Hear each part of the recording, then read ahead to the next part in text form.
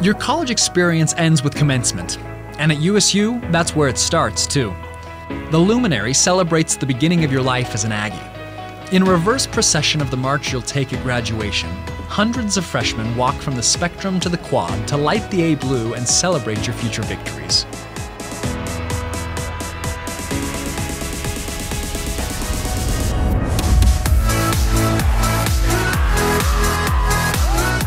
When you get to graduation in four years, you'll be ready for the next chapter.